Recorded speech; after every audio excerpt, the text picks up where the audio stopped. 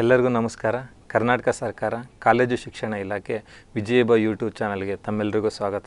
ನನ್ನ ಹೆಸರು ಗರಣಿಯನ್ ಕೃಷ್ಣಮೂರ್ತಿ. ಇಂದಿನ ತರಗತಿನಲ್ಲಿ ಜನಸಂಖ್ಯೆಯ ಬಗ್ಗೆ ಚರ್ಚೆನ ಮಾಡ್ತಾ ಬರೋಣ. ಇತ್ತೀಚಿನ ಪರೀಕ್ಷೆಗಳಲ್ಲಿ, ಎಲ್ಲ ಸ್ಪರ್ಧಾತ್ಮಕ ಪರೀಕ್ಷೆಗಳಲ್ಲಿ ಗಮನಿಸಿದಂತೆ ಹೆಚ್ಚಿನ ಪ್ರಮಾಣದ ಪ್ರಶ್ನೆಗಳು ಈ ಜನಸಂಖ್ಯೆಗೆ ಸಂಬಂಧಿಸಿದಂತೆ ಕೇಳ್ತಾ ಇರೋದನ್ನು ನಾವು ನೋಡ್ತಾ ಬರ್ತೀವಿ. ಈ ಜನಸಂಖ್ಯೆನಲ್ಲಿ ಯಾವ ರೀತಿ ಕ್ವಶನ್ ಏನೋ ಕೇಳ್ತಾನೆ, ಅವನ್ನ ಯಾವ ರೀತಿ ನಾವು ಆನ್ಸರ್ ಮಾಡಬೇಕು, ಅದರಲ್ಲೂ ಸ್ಪೆಸಿಫಿಕ್ ಆಗಿ ಟೂ ತೌಸಂಡ್ ಲೆವೆನ್ ಸೆನ್ಸಸ್ಸಲ್ಲಿ ಏನೆಲ್ಲ ಅಂಶಗಳು ನಮಗೆ ಪ್ರಮುಖವಾಗಿರ್ತವೆ ಅವುಗಳನ್ನೆಲ್ಲವನ್ನು ಕುರಿತು ಇಲ್ಲಿ ಚರ್ಚಿಸ್ತಾ ಬರೋಣ. ನೋಡಿ ಮೊದಲನೇದಾಗಿ ಈ ಥರ ಕ್ವಶನ್ಸನ್ನು ಕೇಳ್ತಾ ಬರ್ತಾನೆ. So who is the father of demography ಅಲ್ಲಿ ಆಪ್ಷನ್ಸ್ ಕೊಟ್ಟಿರ್ತಾನೆ. T R Malthus John Graunt Adam Smith Frank W Notestein ಹಾಗಾದ್ರೆ ಅಂದರೆ ಜನಸಂಖ್ಯಾಶಾಸ್ತ್ರದ ಪಿತಾಮಹ ಯಾರು? ಏನಿದು ಜನಸಂಖ್ಯಾಶಾಸ್ತ್ರ? Demography means the study on population is known as demography ಅಂದರೆ ಜನಸಂಖ್ಯೆಯ ಮೇಲಿನ ಅಧ್ಯಯನವನ್ನು ಜನಸಂಖ್ಯಾಶಾಸ್ತ್ರ ಅಂತ ಕರಿತೀವಿ. ಈ ಜನಸಂಖ್ಯಾಶಾಸ್ತ್ರದ ಪಿತಾಮಹ ಯಾರು? ಅಂತ ಇಲ್ಲಿ ಆಪ್ಷನ್ಸನ್ನು ಕೊಡ್ತಾ ಬರ್ತಾನೆ ಇಲ್ಲಿ T R Malthus John Graunt Adam Smith Frank W Notestein ಅಂತ. ಹಾಗಾದರೆ ಯಾರು ಜನಸಂಖ್ಯಾಶಾಸ್ತ್ರದ ಪಿತಾಮಹ ಅಂದರೆ? ಸೊ ಜಾನ್ ಗ್ರಾಂಟ್ ರವರನ್ನು ಜನಸಂಖ್ಯಾಶಾಸ್ತ್ರದ ಪಿತಾಮಹ ಅಂತೇಳಿ ನಾವು ಕರಿತೀವಿ. ನೋಡಿ, ಜನಸಂಖ್ಯೆಯ ಬಗ್ಗೆ ಸಿದ್ಧಾಂತವನ್ನು ಕೊಡ್ತಾರೆ ಟಿ ಆರ್ ಮಾಲ್ತಸ್ ಅವರನ್ನು ಜನ ಮಾಲ್ತಸನ ಜನಸಂಖ್ಯಾ ಸಿದ್ಧಾಂತ ಅಂತಲೇ ನಾವು ಕರೀತಾ ಬರ್ತೀವಿ. ಹಾಗೆಯೇ ಜ, ಜನಸಂಖ್ಯೆ ಯಾವ ರೀತಿ ಬೆಳವಣಿಗೆ ಆಗುತ್ತೆ ಅನ್ನುವಂಥ ಆಧುನಿಕ ಸಿದ್ಧಾಂತವನ್ನು ಫ್ರಾಂಕ್ ಡಬ್ಲ್ಯೂ ನೋಟಿಸ್ಟಿನ್ ಕೊಡ್ತಾರೆ. ಅದನ್ನು ಜನಸಂಖ್ಯಾ ಪರಿವರ್ತನಾ ಸಿದ್ಧಾಂತ ಅಂತೇಳಿ ಕ ಇಲ್ಲಿರುವಂಥ ಎಲ್ಲ ಹೆಸರುಗಳು ಜನಸಂಖ್ಯೆಗೆ ಸಂಬಂಧಿಸಿರುವೇ ಆಗಿರ್ತವೆ. ಆದರೆ ಜನಸಂಖ್ಯಾಶಾಸ್ತ್ರದ ಪಿತಾಮಹ ಯಾರು ಅಂತೇಳಿ ನಾವು ನೋಡ್ತಾ ಬಂದಾಗ ಜಾನ್ ಗ್ರಾಂಟ್ ಅವರನ್ನು ಜನಸಂಖ್ಯಾಶಾಸ್ತ್ರದ ಪಿತಾಮಹ ಅಂತ ನಾವು ಕರಿತೀವಿ. ಇವರು ಮೂಲತಃ ಇಂಗ್ಲೆಂಡ್ ರಾಷ್ಟ್ರದವರು. ಸಾವಿರದ ಆರುನೂರ ಇಪ್ಪತ್ತರಲ್ಲೇ ಜನಸಂಖ್ಯೆ ಬಗ್ಗೆ ಅಧ್ಯಯನವನ್ನು ಪ್ರಾರಂಭ ಮಾಡ್ತಾರೆ ಆ ಹಿನ್ನೆಲೆಯಲ್ಲಿ ಅವರನ್ನು ಜನಸಂಖ್ಯಾಶಾಸ್ತ್ರದ ಪಿತಾಮಹ ಅಂತೇಳಿ ನಾವು ಕರಿತಾ ಬರ್ತೀವಿ. ಸೊ ಹಾಗಾದರೆ ಭಾರತದ ಜನಸಂಖ್ಯೆಗೆ ಸಂಬಂಧಿಸಿದಂತೆ ಯಾವ ರೀತಿ ಕ್ವಶನ್ಸನ್ನು ಕೇಳ್ತಾನೆ? ಭಾರತದಲ್ಲಿ ಯಾವಾಗಲಿಂದ ಅಂಕಿಅಂಶಗಳನ್ನು ನಾವು ಸಂಗ್ರಹಿಸ್ತಾ ಇದ್ದೀವಿ ಅಂತ ನಾವು ನೋಡಿದ್ರೆ when was the first census census conducted in India ಅಂದರೆ ಭಾರತದಲ್ಲಿ ಯಾವ ವರ್ಷ ಮೊದಲ ಜನ, ಮೊದಲ ಬಾರಿಗೆ ಜನಗಣತಿಯನ್ನು ಮಾಡಲಾಯಿತು? ಅಥವಾ ಯಾವ ವರ್ಷದಿಂದ ಜನಗಣತಿಯನ್ನು ಪ್ರಾರಂಭ ಮಾಡಲಾಯಿತು? ಅಂತ ನಾವು ನೋಡಿದ್ರೆ, ಈ ಏಯ್ಟೀನ್ ಸೆವೆಂಟಿ ಟೂ ಇದೆ ಏಯ್ಟೀನ್ ಏಯ್ಟಿ ಒನ್ ಇದೆ ನೈನ್ಟೀನ್ ಸೆವೆಂಟಿ ಟೂ ಇದೆ ನೈನ್ಟೀನ್ ನಾಟ್ ಒನ್ ಇದೆ. ಯಾವ ವರ್ಷ ನಾವು ಮಾಡಿದ್ವಿ ಅಂತ ನಾವು ನೋಡಿದರೆ, ಭಾರತದಲ್ಲಿ ಮೊದಲ ಜನಗಣತಿಯನ್ನು ನಾವು ಕೈಗೊಂಡಿದ್ದು ಸಾವಿರದ ಎಂಟುನೂರ ಎಪ್ಪತ್ತ ಎರಡರಲ್ಲಿ ಅದನ್ನು ನೋಡ ನೋಡೋದಾದರೆ ನೋಡಿ, ಭಾರತದಲ್ಲಿ ಮೊದಲ ಜನಗಣತಿ ಅನ್ನುವಂಥದ್ದು ಪ್ರಾರಂಭ ಆಗಿದ್ದು ಸಾವಿರದ ಎಂಟುನೂರ ಎಪ್ಪತ್ತೆರಡರಲ್ಲಿ ಪ್ರಾರಂಭ ಆಗುತ್ತೆ. ಸ್ವತಂತ್ರ ಭಾರತದ ಮೊದಲ ಜನಗಣತಿ ಯಾವುದು ಅಂದರೆ ಸಾವಿರದ ಒಂಬೈನೂರ ಐವತ್ತೊಂದು. ಅಂದರೆ ಸ್ವತಂತ್ರ ಭಾರತದ ಮೊದಲ ಜನಗಣತಿಯನ್ನು ನಾವು ಕೈಗೊಂಡಿದ್ದು ಸಾವಿರದ ಒಂಬೈನೂರ ಐವತ್ತೊಂದರ ಜನಗಣತಿ, ಸ್ವತಂತ್ರ ಭಾರತದ ಮೊದಲ ಜನಗಣತಿ. ಆದರೆ ಭಾರತದ ಮೊದಲ ಜನಗಣತಿ ಸಾವಿರದ ಎಂಟುನೂರ ಎಪ್ಪತ್ತೆರಡರಲ್ಲಿ ಆಗ್ತದೆ ಆದರೆ ಹತ್ತು ವರ್ಷದ ಮಾದರಿಯ ಏನು ಮೆಟ್ರಿಕ್ ಸಿಸ್ಟಮ್ ಆಫ್ ಏನು census was started in eighteen eighty one ಅಂದರೆ ಶ್ರೇಣೀಕೃತ ಜನಗಣತಿ ಪ್ರಾರಂಭ ಆಗಿದ್ದು ಸಾವಿರದ ಎಂಟುನೂರ ಎಂಬತ್ತೊಂದರಿಂದ ಆದರೆ ಮೊದಲ ಜನಗಣತಿ ಪ್ರಾರಂಭ ಆಗಿದ್ದು ಸಾವಿರದ ಎಂಟುನೂರ ಎಪ್ಪತ್ತೆರಡರಿಂದ ಮಾಡ್ತೀವಿ. ಅದಾದ ನಂತರ ಪ್ರಸ್ತುತ ನಮಗೆ ಲಭ್ಯ ಇರುವಂಥ ಸೆನ್ಸಸ್ ಯಾವುದು ಅಂದರೆ ಎರಡು ಸಾವಿರದ ಹನ್ನೊಂದನೇ ಸೆನ್ಸಸ್ ಆಗುತ್ತೆ. ಆ ಎರಡು ಸಾವಿರದ ಹನ್ನೊಂದನೇ ಸೆನ್ಸಸ್ ಅಂದರೆ ಜನಗಣತಿ, ಎಷ್ಟನೇ ಜನಗಣತಿ ಆಗುತ್ತೆ ಅಂದರೆ ಹದಿನೈದನೇ ಜನಗಣತಿ. ಅಂದರೆ ಪ್ರಾರಂಭದಿಂದ, ಅಂದರೆ ಸಾವಿರದ ಎಂಟುನೂರ ಎಪ್ಪತ್ತೆರಡರಲ್ಲಿ ಪ್ರಾರಂಭ ಆಗುತ್ತಲ್ಲ, ಆ ಪ್ರಾರಂಭದಿಂದ ತಗೊಂಡ್ರೆ ಎರಡು ಸಾವಿರದ ಹನ್ನೊಂದನೇ ಜನಗಣತಿ ಅನ್ನುವಂಥದ್ದು ಹದಿನೈದನೇ ಜನಗಣತಿ ಆಗುತ್ತೆ. ಹಾಗೆ ಅದು ಸ್ವತಂತ್ರ ನಂತರದ ಎಷ್ಟನೇ ಜನಗಣತಿ ಅಂದರೆ ಏಳನೇ ಜನಗಣತಿ ಆಗುತ್ತೆ. ನೋಡಿ ಪ್ರಾರಂಭದಿಂದ ಹದಿನೈದನೇ ಜನಗಣತಿ ಆದರೆ ಸ್ವತಂತ್ರ ನಂತರದ ಎಷ್ಟನೇ ಜನಗಣತಿ ಆಗುತ್ತೆ ಅಂದರೆ ಏಳನೇ ಜನಗಣತಿ ಆಗುತ್ತೆ. ಹಾಗೆ ಇತ್ತೀಚೆಗೆ ನಾವು ಹೊಸ ಜನಗಣತಿನ ಪ್ರಾರಂಭ ಮಾಡ್ತಾ ಇದ್ದೀವಿ ಯಾವುದು ಹೊಸ ಜನಗಣತಿ ಅಂದರೆ ಸಾವಿರದ ಸಾರಿ ಎರಡು ಸಾವಿರದ ಇಪ್ಪತ್ತೊಂದರ ಜನಗಣತಿನ ನಾವು ಕೈಗೊಳ್ತಾ ಇದ್ದೀವಿ. ಆ ಎರಡು ಸಾವಿರದ ಇಪ್ಪತ್ತೊಂದರ ಜನಗಣತಿ ಎಷ್ಟನೇ ಜನಗಣತಿ ಆಗುತ್ತೆ ಅಂದರೆ ಹದಿನಾರನೇ ಜನಗಣತಿ ಆಗುತ್ತೆ ಪ್ರಾರಂಭದಿಂದ. ಹಾಗಾದರೆ ಸ್ವಾತಂತ್ರ್ಯ ನಂತರದ ಎಷ್ಟನೇ ಜನಗಣತಿ ಆಗುತ್ತೆ ಅಂತಂದರೆ ಎಂಟನೇ ಜನಗಣತಿ ಆಗುತ್ತೆ ಸ್ವಾತಂತ್ರ್ಯದ ನಂತರ. ಪ್ರಸ್ತುತ ಅಂದರೆ ಈ ಜ ಭಾರತದ ಜನಗಣತಿಯನ್ನು ಯಾರು ಕೈಗೊಳ್ತಾರೆ ಅಂದರೆ register general and census of census commissioner of ಇಂಡಿಯಾದವರು ಈ ಭಾರತದಲ್ಲಿ ಜನಸಂಖ್ಯೆಗೆ ಸಂಬಂಧಿಸಿದ ಅಂಕಿಅಂಶಗಳನ್ನು ಕೈಗೊಳ್ತಾರೆ. ಪ್ರಸ್ತುತ ವಿವೇಕ್ ಜೋಶಿರವರು ಸೆನ್ಸಸ್ ಆಫ್ ಇಂಡಿಯಾದ ಕಮಿಷನರ್ ಆಗಿ ಕಾರ್ಯವನ್ನು ನಿರ್ವಹಿಸ್ತಾ ಇದ್ದಾರೆ. ಈ ಸೆನ್ಸಸ್ಸನ್ನು ಕಂಡ ಕಂಡಕ್ಟ್ ಮಾಡಲಿಕ್ಕೆ ನ್ಯಾಷನಲ್ ಪಾಪ್ಯುಲೇಷನ್ ರಿಜಿಸ್ಟರ್ ಅನ್ನುವಂಥ ಒಂದು ಕ, ಯೋಜನೆನ ಕ್ರ, ಕೇಂದ್ರ ಸರ್ಕಾರ ಪ್ರಾರಂಭ ಮಾಡಿದೆ. ಅದು ಎರಡು ಸಾವಿರದ ಇಪ್ಪತ್ತೊಂದನೇ ಜನಗಣತಿಯ ಸಲುವಾಗಿ ಮುಂದಿನ ದಿನದಲ್ಲಿ ನಮಗೆ ಲಭ್ಯ ಇರುವಂಥ ದತ್ತಾಂಶ ಎರಡು ಸಾವಿರದ ಇಪ್ಪತ್ತೊಂದರ ಜನಗಣತಿ ಆಗುತ್ತೆ. ಆದರೆ ಪ್ರಸ್ತುತ ನಮಗೆ ಲಭ್ಯ ಇರುವಂತಹ ಜನಗಣತಿ ಯಾವುದಾಗುತ್ತೆ ಅಂದರೆ ಎರಡು ಸಾವಿರದ ಹನ್ನೊಂದರ ಜನಗಣತಿ ಆಗುತ್ತೆ ಅಂತೇಳಿ. ಹಾಗೆ ನಾವು ನೋಡ್ತಾ ಬಂದರೆ which state having highest population in India according to two thousand eleven census ಅಂದರೆ ಎರಡು ಸಾವಿರದ ಹನ್ನೊಂದನೇ ಜನಗಣತಿಯ ಪ್ರಕಾರ ಭಾರತದ ಯಾವ ರಾಜ್ಯ ಅತಿ ಹೆಚ್ಚು ಜನಸಂಖ್ಯೆಯನ್ನು ಹೊಂದಿದೆ? May be they will ask it which state having lowest population according to eleven census ಯಾವ ಸ್ಟೇಟ್ ಕಡಿಮೆ ಜನಸಂಖ್ಯೆ ಹೊಂದಿದೆ ಅಂತ ಕೇಳ್ಬೋದು. ಇಲ್ಲ, ಇನ್ನೂ ಮುಂದೆ ಕ್ವಶನ್ನ ಕೇಳ್ಬೋದು, ಯಾವ ರಾಜ್ಯ ಅತಿ ಹೆಚ್ಚು ಭೂಪ್ರದೇಶವನ್ನು ಹೊಂದಿದೆ. ಯಾವ ರಾಜ್ಯ ಅತಿ ಕಡಿಮೆ ಭೂಪ್ರದೇಶವನ್ನು ಹೊಂದಿದೆ? ಅದರಲ್ಲಿ ಕರ್ನಾಟಕ ಸ್ಥಾನ ಎಷ್ಟು? ಈ ರೀತಿ ಎಕ್ಸಾಮ್ಸಲ್ಲಿ ಪ್ರಶ್ನೆಗಳನ್ನು ಬರ್ತಾ ಬರ್ತಾ, ಏನೋ ಕೇಳ್ತಾ ಬರ್ತಾರೆ. ಅದಕ್ಕೆ ಎಲ್ಲರಿಗೂ ಯೂಸ್ ಆಗಲಿ ಅಂತೇಳಿ ಒಂದು ಸಣ್ಣ ಟೇಬಲನ್ನು ಹಾಕಿದ್ದೀನಿ. ನೋಡ್ತಾ, ನೋಡಿ ಇಲ್ಲಿ. ಈ ಥರ ನೀವು ನೋಟ್ಸ್ ಮಾಡ್ಬೇಕಾದ್ರೆ ಕಾಂಪಿಟೇಟಿವ್ ಎಕ್ಸಾಮ್ಗೆ ನೋಟ್ಸ್ ಮಾಡ್ಬೇಕಾದ್ರೆ ಈ ಮೆಥಡಲ್ಲಿ ನೋಟ್ಸ್ ಮಾಡ್ಬೇಕು. ನೋಡಿ, ಈ ಟೇಬಲಲ್ಲಿ ಎರಡು ಹ್ಯಾಂಗಲಲ್ಲಿ ಕೇಳ್ತಾ, ಇದು ಮಾಡ್ತಾ ಬಂದಿದ್ದೀನಿ. ಫಸ್ಟು ಟೋಟಲ್ ಯಾವುದರ ಟೋಟಲು ಜಾಗ್ರಫಿಕಲ್ ಏರಿಯಾ ಮತ್ತು ಪಾಪ್ಯುಲೇಷನ್ ಪರ್ಸೆಂಟೇಜ್ ಜಾಗ್ರಫಿಕಲ್ ಏರಿಯಾದಲ್ಲಿ ಪ ಪಾಪ್ಯುಲೇಷನಲ್ಲಿ ಇದನ್ನು ಫಿಲ್ ಮಾಡ್ತಾ ಬರಬೇಕು. ನೋಡಿ ಟೋಟಲ್ ಅಂತ ನಾವು ನೋಡೋದಾದರೆ what is a total geographical area ಅಂದರೆ ಭಾರತದ ಒಟ್ಟು ಜನ, ಏನು, ಭೂಪ್ರದೇಶ ಎಷ್ಟು ಅಂತ ನೋಡಿದಾಗ thirty two lakhs eighty seven thousand two sixty three square kilometre ಅಂದರೆ ಭಾರತದ ಭೌಗೋಳಿಕ ಪ್ರದೇಶ thirty two lakhs eighty seven thousand two sixty three square kilometre ಇದು ಭಾರತದ ಭೂಪ್ರದೇಶ. ಹಾಗಾದರೆ ಒಟ್ಟು ಪಾಪ್ಯುಲೇಷನ್ ಜನಸಂಖ್ಯೆ ಎಷ್ಟು? ಭಾರತದ ಒಟ್ಟು ಜನಸಂಖ್ಯೆ ಎಷ್ಟು ಅಂತಂದರೆ ನೂರ ಇಪ್ಪತ್ತೊಂದು ಪಾಯಿಂಟ್ ಜೀರೋ ಅಂದರೆ ಎರಡು ಎರಡು ಸಾವಿರದ ಹನ್ನೊಂದರ ಜನಗಣತಿಯ ಪ್ರಕಾರ one twenty one point zero six crores ನೂರ ಇಪ್ಪತ್ತೊಂದು ಪಾಯಿಂಟ್ ಸೊನ್ನೆ ಆರು ಕೋಟಿಗಳು ಭಾರತ ಜನಸಂಖ್ಯೆ. ಇದು ಲಾಸ್ಟ್ ಎಫ್ ಡಿ ಎ ಎಕ್ಸಾಮಲ್ಲಿ ಕೇಳಿದ್ದ ಭಾರತದ ಜನಸಂಖ್ಯೆ ಎಷ್ಟು ಎರಡು ಸಾವಿರದ ಹನ್ನೊಂದರ ಜನಗಣತಿಯ ಪ್ರಕಾರ ಅಂತ.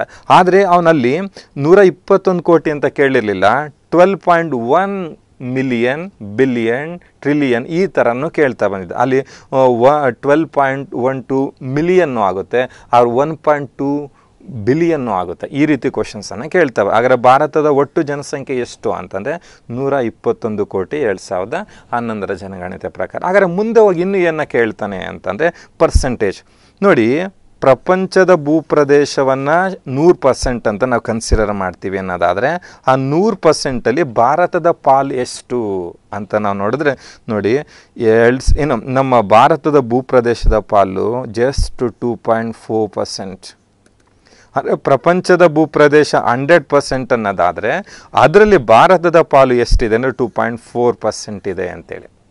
ಹಾಗೆ ಜನಸಂಖ್ಯೆನಲ್ಲಿ ಎಷ್ಟು ಪರ್ಸೆಂಟ್ ಇದೆ?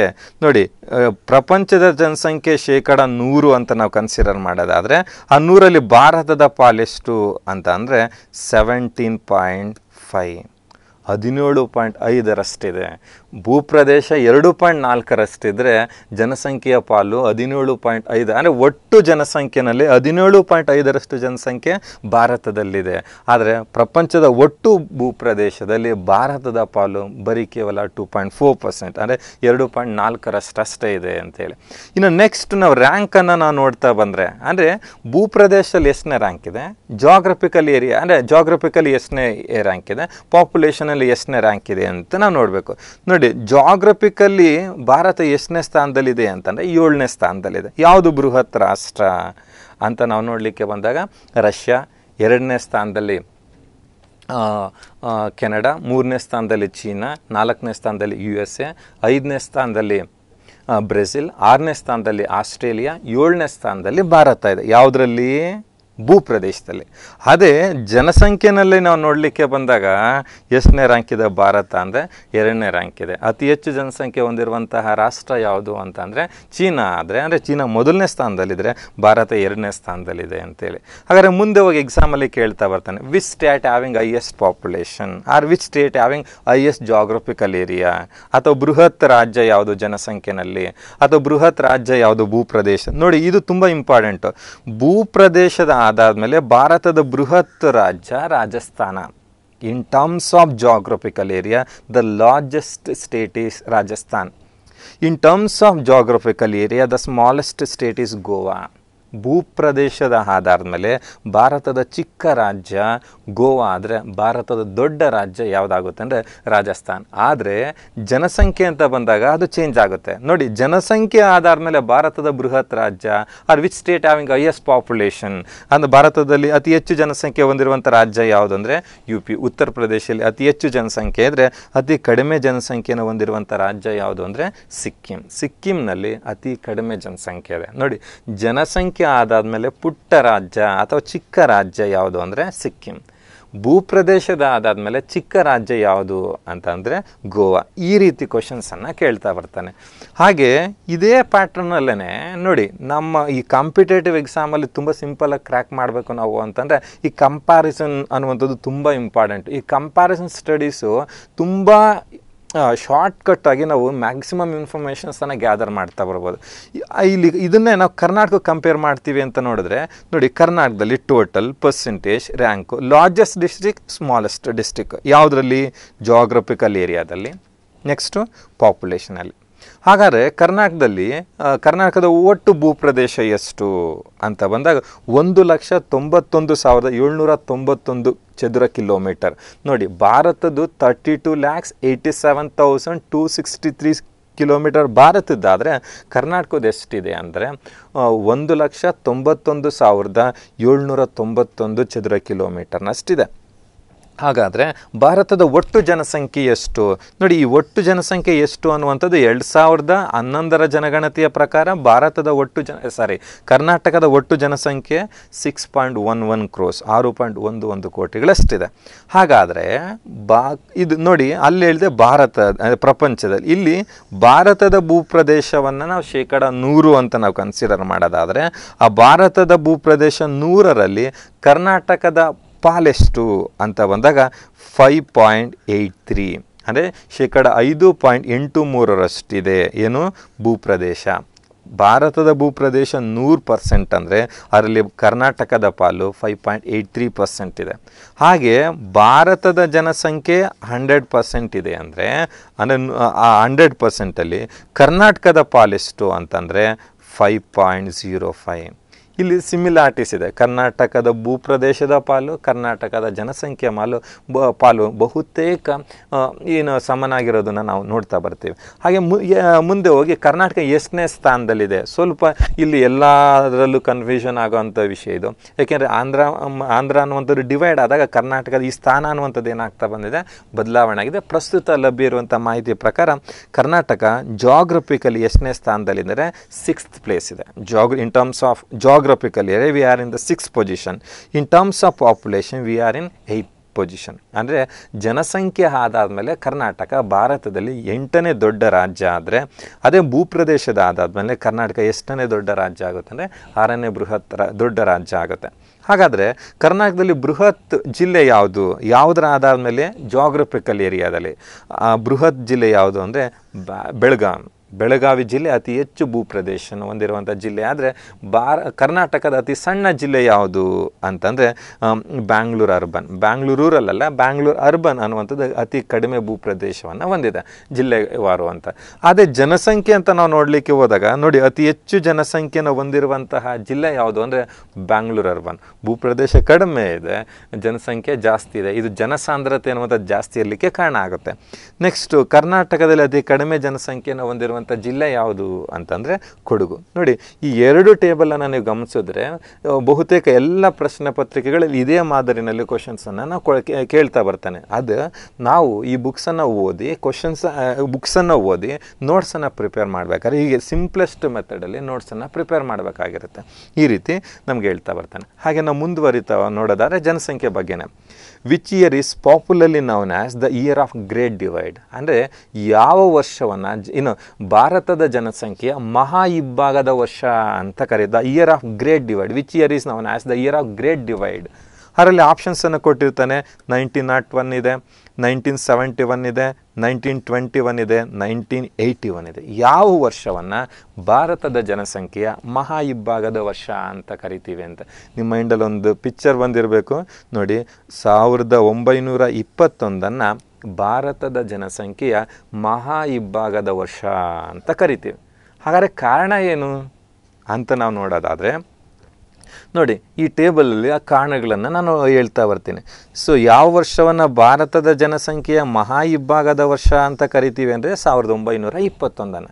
ಯಾಕೆ ಸಾವಿರದ ಒಂಬೈನೂರ ಇಪ್ಪತ್ತೊಂದನ್ನು ಮಹಾ ಇಬ್ಬಾಗದ ವರ್ಷ ಅಂತ ಕರಿತೀವಿ ಅಂದರೆ, ಸಾವಿರದ ಒಂಬೈನೂರ ಇಪ್ಪತ್ತೊಂದರವರೆಗೂ ಭಾರತದ ಜನಸಂಖ್ಯೆ ಸ್ಥಿರವಾಗಿತ್ತು. ಅಂದರೆ ಭಾರತದ ಜನಸಂಖ್ಯೆ ಒಂದು ಸ್ವಲ್ಪ ಜಾಸ್ತಿ ಆಗ್ತಿತ್ತು, ಕಡಿಮೆ ಆಗ್ತಿತ್ತು, ಅದು ಬ್ಯಾಲೆನ್ಸ್ ಇತ್ತು. ಎಲ್ಲಿವರೆಗೂ? ಸಾವಿರದ ಒಂಬೈನೂರ ಇಪ್ಪತ್ತೊಂದರವರೆಗೂ. ಆದರೆ ಸಾವಿರದ ಒಂಬೈನೂರ ಇಪ್ಪತ್ತೊಂದರ ನಂತರ ಭಾರತದ ಜನಸಂಖ್ಯೆ ನಿರಂತರವಾಗಿ ಏನಾಗಿದೆ? ಹೆಚ್ಚಳವಾಗಿದೆ. ಆ ಸಾವಿರದ ಒಂಬೈನೂರ ಇಪ್ಪತ್ತೊಂದು ಒಂದು ಡಿವೈಡ್ ಮಾಡುತ್ತೆ. ಏನಂತ? ಸ್ಥಿರ ಜನಸಂಖ್ಯೆ ಅಂತ ಮತ್ತು ಏರಿಕೆ ಜನಸಂಖ್ಯೆ ಅಂತ. ಸಾವಿರದ ಒಂಬೈನೂರ ಇಪ್ಪತ್ತೊಂದುವರೆಗೂ ಭಾರತ ಜನಸಂಖ್ಯೆ ಸ್ಥಿರವಾಗಿತ್ತು.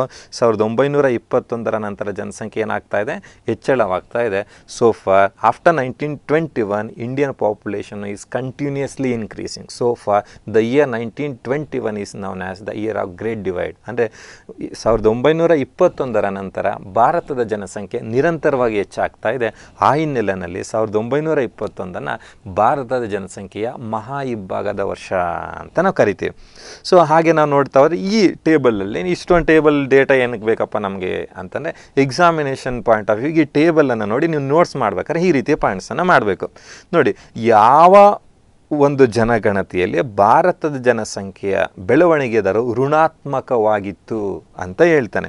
ನೋಡಿ ಸಾವಿರದ ಒಂಬೈನೂರ ಇಪ್ಪತ್ತೊಂದರ ಜನಗಣತಿಯ ಸಂದರ್ಭದಲ್ಲಿ. ಅಂದರೆ ಅರ್ಥ, ಸಾವಿರದ ಒಂಬೈನೂರ ಹನ್ನೊಂದರಿಂದ ಸಾವಿರದ ಒಂಬೈನೂರ ಇಪ್ಪತ್ತೊಂದರ ಅವಧಿಯವರೆಗೆ ಭಾರತದ ಜನಸಂಖ್ಯೆ ಋಣಾತ್ಮಕವಾಗಿತ್ತು. ಋಣಾತ್ಮಕವಾಗಿತ್ತು ಅಂದರೆ ಅಲ್ಲಿ ಒಟ್ಟು ಜನಸಂಖ್ಯೆ, ಅಂದರೆ ಒಟ್ಟು ಜನಸಂಖ್ಯೆ ಕಡಿಮೆ ಆಯಿತು. ನೋಡಿ, ಸಾವಿರದ ಒಂಬೈನೂರ ಇ ಹನ್ನೊಂದರಲ್ಲಿ ಇಪ್ಪತ್ತೈದು ಪಾಯಿಂಟ್ ಎರಡು ಕೋಟಿ ಇದ್ದಿದ್ದು, ಸಾವಿರದ ಒಂಬೈನೂರ ಇಪ್ಪತ್ತೊಂದಕ್ಕೆ ಇಪ್ಪತ್ತೈದು ಪಾಯಿಂಟ್ ಒಂದು ಕೋಟಿ. ಅಂದರೆ ಹತ್ತು ಲಕ್ಷದಷ್ಟು ಜನಸಂಖ್ಯೆ ಕಡಿಮೆ ಆಗುತ್ತೆ. ಕಡಿಮೆ ಆಗಿದೆ ಋಣಾತ್ಮಕ ಬೆಳವಣಿಗೆ ದರ.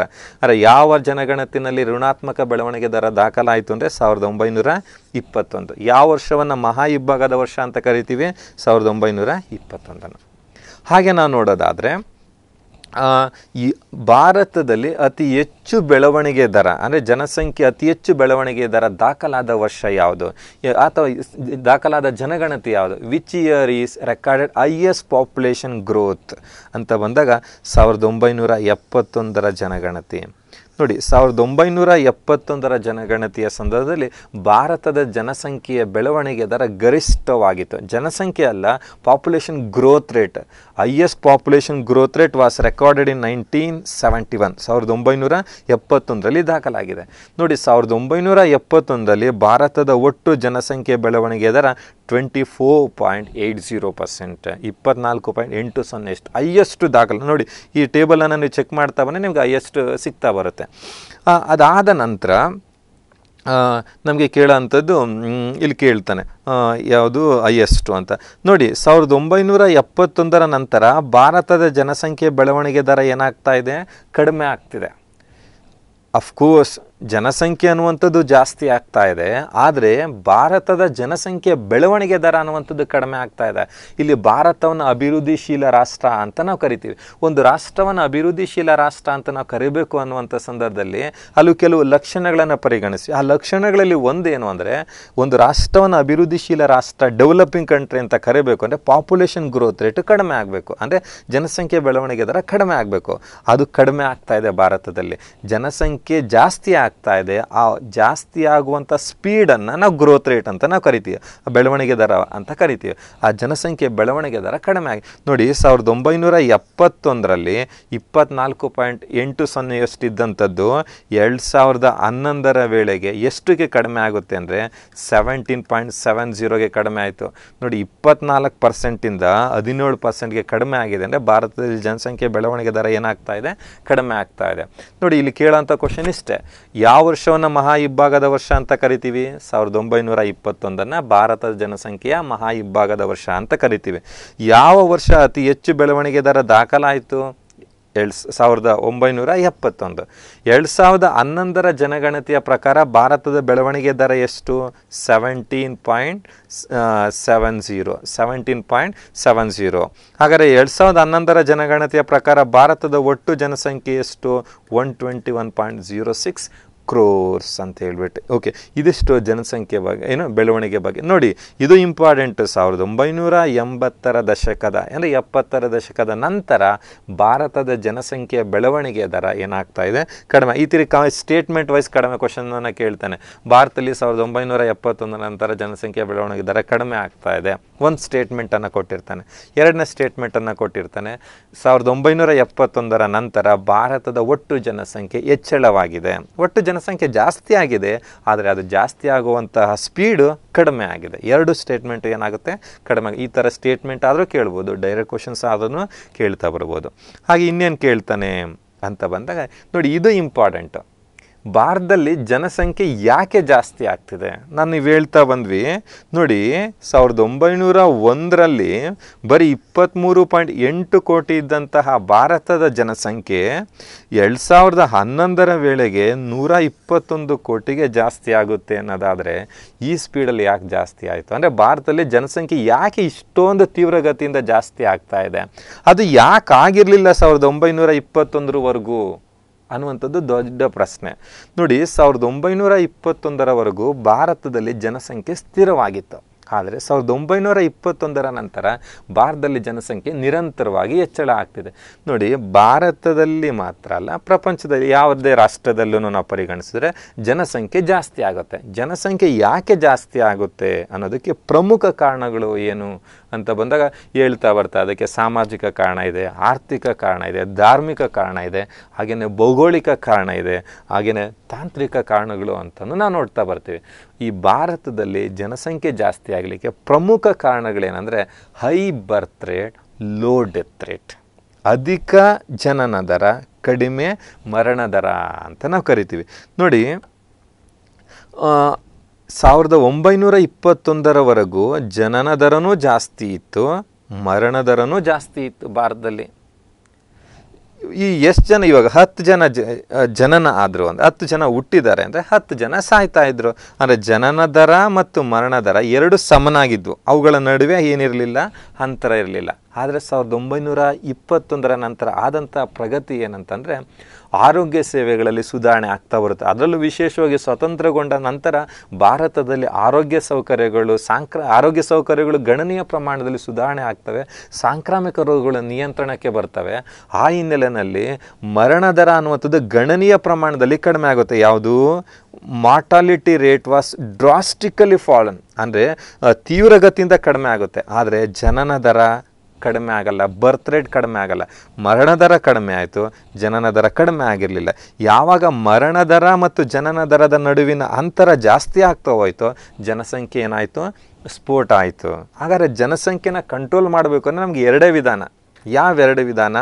ಒಂದು ಇವತ್ತು ಅಷ್ಟೇ. ಯಾವುದೇ ರಾಷ್ಟ್ರದಲ್ಲಿ ಜನಸಂಖ್ಯೆನ ಕಡಿಮೆ ಮಾಡಲಿಕ್ಕೆ ಕಾರಣ, ಕಡಿಮೆ ಮಾಡಬೇಕು ಅಂದರೆ ಎರಡು ಕ್ರಮನ ಕೈಗೊಳ್ಬೇಕು. ಯಾಕೆ ಜಾಸ್ತಿ ಆಗ್ತಿದೆ ಜನಸಂಖ್ಯೆ? ಎರಡು ಕಾರಣ ಜನನ ದರ ಮತ್ತು ಮರಣ ದರ. ಜನನ ದರ ಜಾಸ್ತಿ ಇರುತ್ತೆ, ಮರಣ ದರ ಕಡಿಮೆ ಇರುತ್ತೆ. ಆ ಕಾರಣಕ್ಕೆ ಜನಸಂಖ್ಯೆ ಜಾಸ್ತಿ ಆಗ್ತಾ ಇರುತ್ತೆ. ಹಾಗಾದರೆ ಜನಸಂಖ್ಯೆನ ಕಡಿಮೆ ಮಾಡಬೇಕು ಅಂದರೆ ಏನು ಮಾಡಬೇಕು? ಮರಣ ದರ, ಜನನ ದರನ ಕಡಿಮೆ ಮಾಡಬೇಕು. ಇಲ್ಲ, ಮರಣ ದರನ ಜಾಸ್ತಿ ಮಾಡಬೇಕು. ಯಾವಾಗ ಎರಡು ಬ್ಯಾಲೆನ್ಸ್ ಆಗ್ತವೋ ಆಗ ಜನಸಂಖ್ಯೆ ಏನಾಗುತ್ತೆ? ಸ್ಥಿರವಾಗುತ್ತೆ, ನಿಯಂತ್ರಣಕ್ಕೆ ಬರುತ್ತೆ. ಆದರೆ ಒಂದಂತೂ ಸಾಧ್ಯ ಇಲ್ಲ. ನಾವೇ ಮುಂದೆ ಬಂದು ಮರಣ ದರವನ್ನು ಜಾಸ್ತಿ ಮಾಡಲಿಕ್ಕೆ ಸಾಧ್ಯ ಇಲ್ಲ. ಹಾಗಾದ್ರೆ ಯಾವ ಕ್ರಮನ ನಾವು ಕೈಗೊಳ್ಬೋದು? ಜನನ ದರವನ್ನು ಕಡಿಮೆ ಮಾಡಲಿಕ್ಕೆ ಕ್ರಮನ ಕೈಗೊಳ್ಬೋದು. ಆ ನಿಟ್ಟಿನಿಂದ ಸಾವಿರದ ಒಂಬೈನೂರ ಐವತ್ತೆರಡರಲ್ಲಿ ಭಾರತ ಸರ್ಕಾರ ಕುಟುಂಬ ಯೋಜನೆಯನ್ನು ಜಾರಿಗೆ ತರುತ್ತೆ. ಆದರೆ ಅದರ ವಿಫಲ ಆದಂಥ ಸಂದರ್ಭದಲ್ಲಿ ಸಾವಿರದ ಒಂಬೈನೂರ ಎಪ್ಪತ್ತೇಳರಲ್ಲಿ ಆ ಕುಟುಂಬ ಯೋಜನೆಯನ್ನು ಕುಟುಂಬ ಕಲ್ಯಾಣ ಕಾರ್ಯಕ್ರಮ ಅಂತೇಳಿ ಪುನರೂಪಿಸ್ತಾರೆ ಫ್ಯಾಮಿಲಿ ವೆಲ್ಫೇರ್ ಪ್ರೋಗ್ರಾಮ್ ಅಂತೇಳಿ ರೀಸ್ಟ್ರಕ್ಚರೈಸ್ಡ್ ಮಾಡ್ತಾರೆ. ಅದಾದ ನಂತರ ಭಾರತದಲ್ಲಿ ಜನಸಂಖ್ಯೆ ಏನಾಗ್ತಾ ಬರ್ತಾ, ಅಂದರೆ ಜನಸಂಖ್ಯೆ ಬೆಳವಣಿಗೆ ದರ ಏನಾಗ್ತಾ ಇದೆ? ಕಡಿಮೆ ಆಗ್ತಿದೆ.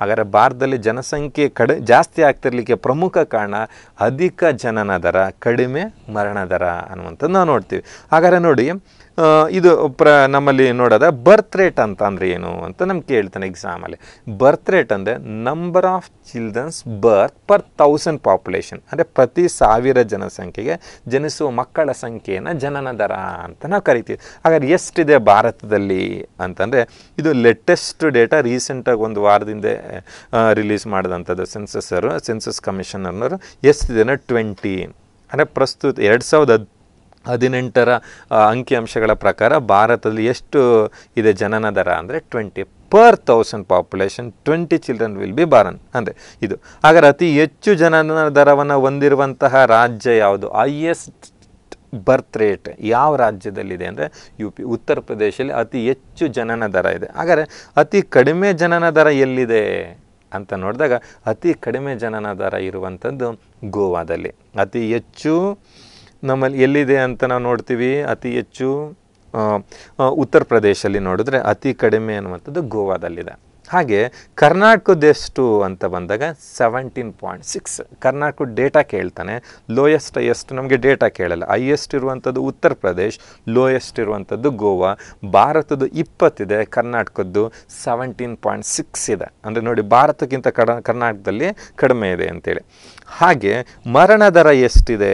ಮರಣ ದರ ಮಾರ್ಟಾಲಿಟಿ ರೇಟ್ ಅಂತ ಕರಿತೀವಿ. Number of death per thousand population number of deaths per thousand population ಅಂದರೆ ಪ್ರತಿ ಸಾವಿರ ಜನಸಂಖ್ಯೆಗೆ ಮರಣ ಹೊಂದುವವರ ಪ್ರಮಾಣವನ್ನು ನಾವು ಮರಣ ದರ ಅಂತ ನಾವು ಕರಿತೀವಿ. ನೋಡಿ, ಹಾಗಾದರೆ ಮರಣ ದರ ಎಷ್ಟಿದೆ? ಇದು latest information six point two ಅಂದರೆ ಪ್ರತಿ ಸಾವಿರ ಜನಸಂಖ್ಯೆ ಆರು ಪಾಯಿಂಟ್ ಎರಡರಷ್ಟು ಆರು ಪಾಯಿಂಟ್ ಎರಡು ಜನ ಮರಣವನ್ನು ಒಪ್ತಾರೆ ಅಂತೇಳಿ ನಾವು ಕರಿತೀವಿ. ನೋಡಿ, ಸಾವಿರ ಜನಸಂಖ್ಯೆಗೆ ಇಪ್ಪತ್ತು ಜನ, ಇವು ಇನ್ಕಮಿಂಗ್ ಕಾಲ್ ಆದರೆ ಎಷ್ಟು ಜನ ಸಾಯ್ತಾರೆ? ಆರು ಆರು ಪಾಯಿಂಟ್, ಅಂದರೆ ಬರೋರ ಸಂಖ್ಯೆ ಇಪ್ಪತ್ತು, ಹೋಗೋರ ಸಂಖ್ಯೆ ಆರು ಪಾಯಿಂಟ್ ಎರಡು. ಅಂದರೆ ನೋಡಿ, ಇವನ್ ಮೈನಸ್ ಮಾಡಿದ್ರೆ ಸುಮಾರು ಹದಿಮೂರು ಪಾಯಿಂಟ್ ಎಂಟು ಹದಿಮೂರು ಪಾಯಿಂಟ್ ಎಂಟರಷ್ಟು ಜನ ಎಕ್ಸ್ಟ್ರಾ ಆಗ್ತಾರೆ ಪ್ರತಿ ಸಾವಿರ ಜನಸಂಖ್ಯೆಗೆ. ಇದೇ ಪ್ರಮುಖ ಕಾರಣ ಜನಸಂಖ್ಯೆ ಜಾಸ್ತಿ ಆಗಲಿಕ್ಕೆ. ಹಾಗಾದ್ರೆ ಏನು ಮಾಡಬೇಕು? ಮರಣ ದರನ ಜಾಸ್ತಿ ಮಾಡಲಿಕ್ಕೆ ಸಾಧ್ಯ ಇಲ್ಲ. ಹಾಗಾದರೆ ನಾವು ಮಾಡಬೇಕಾಗಿರುವಂಥದ್ದು ಏನಂದರೆ, ಜನನ ದರವನ್ನು ಏನು ಮಾಡಬೇಕು? ಕಡಿಮೆ ಮಾಡಬೇಕು. ಜನನ ದರವನ್ನು ಕಡಿಮೆ ಮಾಡಿದ್ದೆ ಆಯಿತು ಅಂದರೆ ಜನಸಂಖ್ಯೆ ಅನ್ನುವಂಥದ್ದು ಏನಾಗುತ್ತೆ? ನಿಯಂತ್ರಣಕ್ಕೆ ಬರುತ್ತೆ. ನೋಡಿ, ಅತಿ ಹೆಚ್ಚು ಜನನ ದರವನ್ನು ಹೊಂದಿರುವಂಥ ರಾಜ್ಯ ಉತ್ತರ ಪ್ರದೇಶ್, ಅತಿ ಕಡಿಮೆ ಜನನ ದರವನ್ನು ಹೊಂದಿರುವಂಥ ರಾಜ್ಯ ಗೋವಾ, ಕರ್ನಾಟಕದ ಎಷ್ಟಿದೆ ಅಂದರೆ ಸೆವೆಂಟೀನ್ ಪಾಯಿಂಟ್ ಸಿಕ್ಸ್ ಹಾಗೆ death rate number of deaths per thousand population is known as death rate ಪ್ರತಿ ಸಾವಿರ ಜನಸಂಖ್ಯೆಗೆ ಮರಣ ಹೊಂದೋರ ಪ್ರಮಾಣವನ್ನು ಮರಣ ದರ ಅಂತ ಕರಿತೀವಿ. ಎಷ್ಟಿದೆ? ಭಾರತದ್ದು ಸಿಕ್ಸ್ ಪಾಯಿಂಟ್ ಟು ಅತಿ ಹೆಚ್ಚು ಎಲ್ಲಿದೆ? ಛತ್ತೀಸ್ಗಢ್ ಛತ್ತೀಸ್ಗಢ. ಛತ್ತೀಸ್ಗಢಲ್ಲಿ ಅತಿ ಹೆಚ್ಚು ಇದ್ದರೆ ಅತಿ ಕಡಿಮೆ ಎಲ್ಲಿದೆ ಅಂದರೆ ದೆಹಲಿನಲ್ಲಿದೆ ಅಂತೆ. ಹಾಗಾದರೆ ಕರ್ನಾಟಕದಲ್ಲಿ ಎಷ್ಟಿದೆ ಅಂದರೆ ಸಿಕ್ಸ್ ಪಾಯಿಂಟ್ ಸೆವೆನ್ ಅಂದರೆ ಆರು ಪಾಯಿಂಟ್ ಏಳರಷ್ಟು ಜನ ಪ್ರತಿ ಸಾವಿರ ಜನಸಂಖ್ಯೆಗೆ ಸಾವನ್ನು ಹಾಕ್ತಾರೆ ಅಂತ ಹೇಳ್ಬಿಟ್ಟು. ಇದಿಷ್ಟು ಏನು ಜನನ ದರ ಮತ್ತು ಮರಣದ ಈ ಹಿನ್ನೆಲೆಯಲ್ಲಿ ಭಾರತದಲ್ಲಿ ಜನಸಂಖ್ಯೆ ಅನ್ನುವಂಥದ್ದು ಏನಾಗ್ತಾ ಇದೆ? ಹೆಚ್ಚಳ ಆಗ್ತಾ ಇದೆ ಅಂತೇಳಿ ಇದಿಷ್ಟು ಜನಸಂಖ್ಯೆಗೆ ಸಂಬಂಧಿಸಿದಂಥದ್ದು ಸಂಬಂಧಿಸಿದಂಥದ್ದು ಮುಂದಿನ ಕ್ಲಾಸಲ್ಲಿ ಜನಸಂಖ್ಯೆ ಸಂಯೋಜನೆಗೆ ಸಂಬಂಧಿಸಿದಂಥ ಮಾಹಿತಿ ಅಂದರೆ ಲಿಂಗಾನುಪಾತ ಜನಸಾಂದ್ರತೆ ವಯೋಮಾನ ಸಂಯೋಜನೆ ಇವುಗಳಿಗೆ ಸಂಬಂಧಿಸಿದ ಮಾಹಿತಿಯನ್ನು ಕೊಡುವಂಥ ಪ್ರಯತ್ನವನ್ನು ಮಾಡ್ತೀನಿ. ಎಲ್ಲರಿಗೂ ಧನ್ಯವಾದ. Thank you